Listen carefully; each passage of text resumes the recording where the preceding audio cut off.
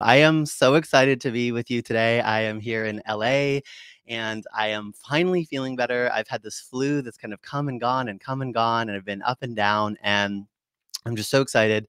Authenticity Codes starts tonight, which uh, it's going to be so incredible. Now that it's the day of, there's just all of these pieces like dropping in, and I'm so excited to share it. And I actually want to share one of the pieces of wisdom that's really related to this today. So, one of the things that I have been not just seeing but really really feeling in people's experience is this thing where we've like got it we're so on and then we have some kind of wobble and we just get so stuck in it we like compound the wobble we make something that didn't have to la- last so long we make it take forever like weeks weeks weeks sometimes months sometimes half a year you know and what I want to talk to you about, and what a big part of the first authenticity code is about, is about this distinction between when we're tuning into our old self and our new self. And a really important piece of this is when we tune into that version of ourselves, we tune into all of it. We turn into the emotions, we tune into the thought patterns, the behavioral patterns, and we also tune into who we give our authority to. And so, a lot of us, the old self, is our very habitual, very conditioned self. It comes from our childhood experiences, it comes from what we learned growing up, it comes from what was projected onto us from society. And a lot of that also comes with this outsourcing of truth. It's, I, I'm meant to listen to parents. I'm meant to listen to authority. I'm meant to listen to someone outside myself to understand truth for me. In other words, authority for me. And so, one of the things that I really notice is a lot of very brilliant, incredible human beings will come to this place of knowing where they trust their inner guidance where they're led in a certain direction to a certain and and they get this this this guidance of this is who I really am. This is who I was supposed to be but this is who I really am. And they come into a line we come into alignment with that and there's this magic there's this harmony there's this synchronicity there's this beautiful window where we've got it. We're like, this is me. This is who I am. I feel it in every day, in every moment of every experience. This is who I am. It feels like the best thing in the world. And then a lot of times what happens is we're oh, we've been talking a lot about tests on this trip. Actually, I've been talking to my friend that's with me and I've had my own tests. There's always tests, right? And so a lot of the times what happens is when the test comes, we tune back into the old self because that's the familiar self. That's what we know. That's the pattern. That's who I've always been. That's the version of me that my mind wants to go to because my mind always wants to navigate my current situation based on the predictable past, which is part of what limits me by giving me only predictable possibilities. So, in the tuning into that old self, part of what we tune into is where we found truth, where we gave our authority to. And so this is really tricky because the very thing that brings us into alignment and into coherence with who we truly are is this inner authority. It's this inner guidance. It's this trusting of the I am that I am to lead me where I'm going. And as we tune in, as we so easily do, to the old self, when any fear or doubt or lack comes in, we also tune into the version of ourselves that's given away our authority. And what I find happens here a lot is when this little tune out, tune in could have happened, what happens is once we go back into that version of ourselves that's given our authority to others, we start to look to other people to tell us what to do, who to be, all the things. And so this period ends up getting stretched out and stretched out and stretched out and we let in all this doubt because as we go into this version that goes eh, out of i know i am the i am that i am and i know we tune into this version of ourselves that looks outside of ourselves for answers. And so what happens is we go along, and although we were very clear, and when we were in this state of harmony, we're like, I, I know it, I've got it, I feel it, this is who I am. But as we tune into that version of ourselves who looks outside for answers, we get a little bit lost and we start looking. And a lot of the times we don't want to be wrong the predictable mind loves to be right. And so we tune into this version of ourselves and goes looking for ac- answers. And we go, well, I believe this, but let me also listen to that because I don't want to be wrong.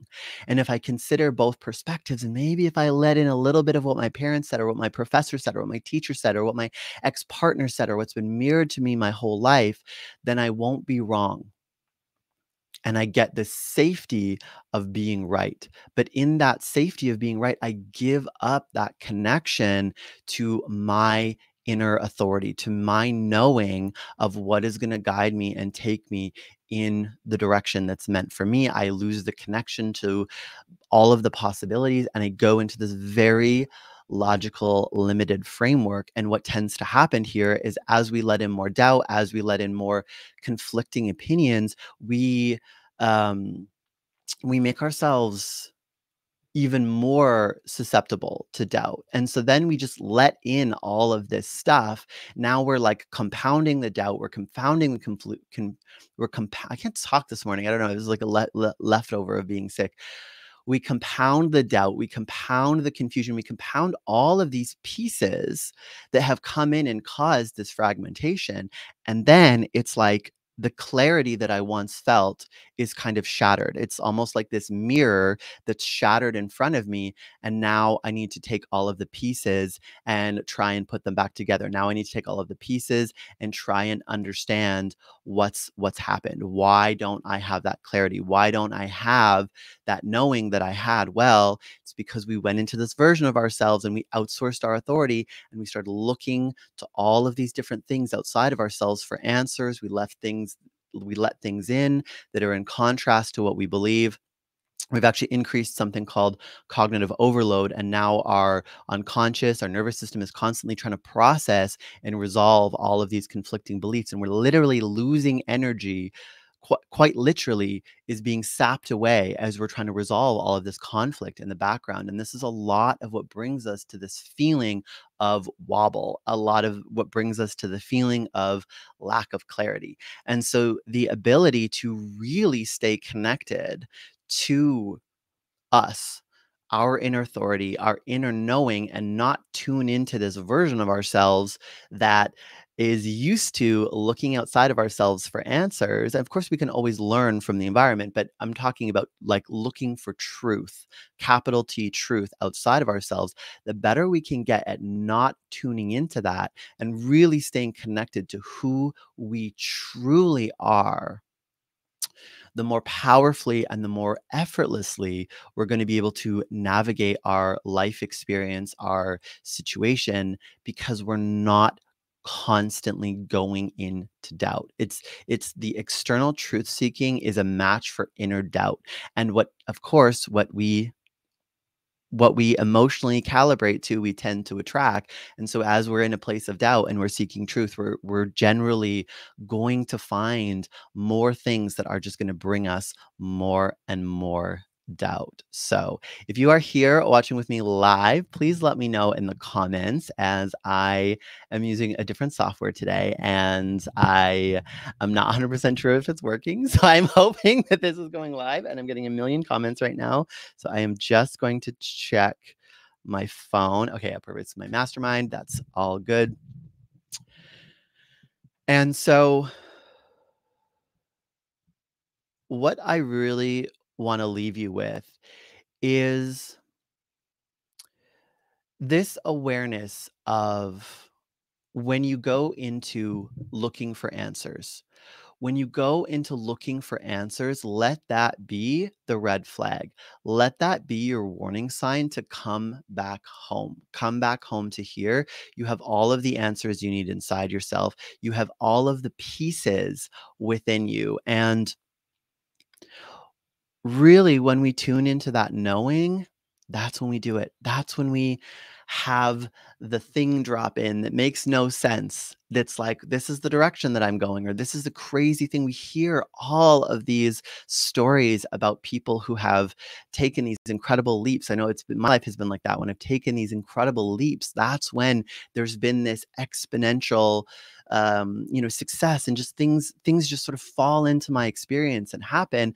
But what happens is a lot of us do this and then we forget and we're like okay i took the leap and now i need to be safe. And like in in, in order and there it's right there that's the window. In order to be safe let me tune in to this old version of myself that sees outside authority so that I don't make a mistake, so that I'm not wrong. And that is it. That's the window that doubt the dream killer gets in when we go searching outwardly. So we can always we can always be in a state of learning we can always be in a state of allowing but it's that it's that outward search that's the feeling of i don't have the answers i need to look outside myself that is the thing that sabotages us so can we stay in the knowing, even when it's hard, even when we're presented with conflict, even when we make a mistake, even when the universe brings us the test and our, our experience doesn't support that everything's working out, that everything's going great, that, that, you know, it's like you will really be tested. Can you stay in that knowing? This is who I am. This is where I'm going. This is what I believe. I feel truth. I know what's best for me. I trust that inner wisdom and really just not tune into that old, eh, outdated version of yourself that looked to parents and authority and the internet and science and religion or whatever it is to tell you what truth is. And as you learn to do this in higher and higher stakes and higher and higher pressure situations, it's just going to be so incredible because you're going to be able to skate through the test of life with ease. And this is one of the things I'm always talking about is so often people will say, "Oh, but this situation." I'm like, "Yeah, but it's not about the situation. It's about your ability to stay grounded and connected to who you are and your clarity in the face of contrast. That's the whole that's the entire game of life. Can you stay connected in the face of contrast? Not can i manifest a perfect life and can everything be easy? Can i stay connected in the face of contrast? That's the thing that creates the life you want. And so every time you go through the process that I've described in this video and tune in to the old self who gives up your authority, you're making that process, you're making that so much more difficult because you're um, you're dissipating your momentum and sometimes even starting to go backwards. And compounding momentum is one of the most powerful things that we can do in life. And so, we one we don't want to dissipate that and two we want to really understand that we can still come like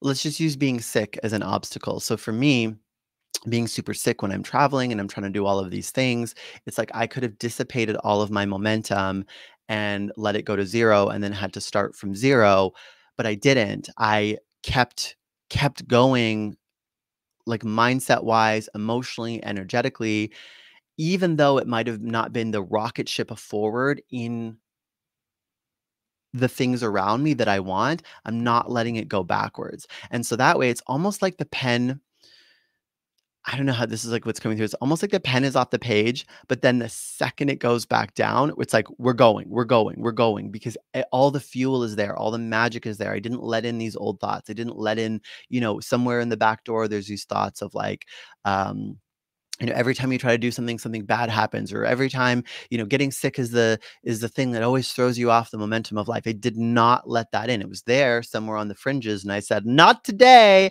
I am not letting that in. I know and i trust that everything is working out and that i I just, I've just, I've got it. I've got it. And staying connected to that as I'm getting better, it's like, yes, let's go. Yes, let's go. And I can feel it. It's like the momentum is still there. It's, it's hard to explain, but I can feel it when it's there and it's, it's available to me. And it's like the second I connect, things start moving opportunities start coming in just all all the things all the things there's this flow when i'm in the river of life i can feel the flow and i can feel how not not tuning out of my authentic self has been so powerful and not messing up momentum and not messing up kind of what's available to me. So, we are going live for authenticity codes tonight. Part 1 starts tonight at 5:30 PST.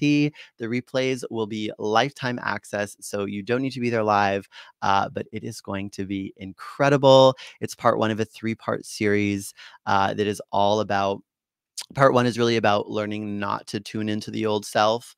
Uh, part two is learning to really refine that, tune, tuning into who you really are. And uh, part three is just all about taking it to the moon. So I'm so excited for this series. It's going to be like nothing I've ever done before. And each one comes with the uh, like transmission, the code, and then also um, a hot seat Q and A uh, session as well. So I am so freaking excited. We've got some amazing people joining tonight, and I know there's going to be some more jumping in. So if you are interested, I think you can just scan the QR code on the screen. I think it's like right here, and it is also in all of my bios. So I am sending you so much love. Thank you for joining me today. Again, if you were here, let me know. Let me know what your takeaway from this was. Let me know if you have any questions. I'd love to answer it in a future live stream. And I just want to leave you with just really tuning into that difference and being really honest with yourself. Am I in that trust? Am I in that knowing? Am I in that sense of clarity? Am I in that portal of connection to who I am? Or am I outsourcing? Am I letting myself be a past version of myself where, uh, you know, the predictable past becomes my map to the future, where I'm letting in other people's other people's opinions and being overly swayed. I'm letting other people's truth override my own personal truth. Mm-hmm. Where are you? What's your journey with that? Because a lot of us, especially when we're in the space of trying to figure things out, we go into this energy of trying to figure it out. We go into this energy of like doing to create change instead of coming home. And coming home is always the most powerful thing to do because once you're there, once you're in it, it's like this pillar in the center of your field where you're so connected, so grounded, so tapped in, tuned in, turned on. You know what to do you just know what to do. And I have experienced this again and again and again. And I see this with my clients all the time. And this is the space that we create magic and miracles from. And it is available to you. You are no different. It's just a journey to get there, but it is an incredible journey that's worth going on. So thank you so much for joining me today. I am Michael Edwards. If this is your first catch time catching me live, let me know. I am sending you so much love and bye for now.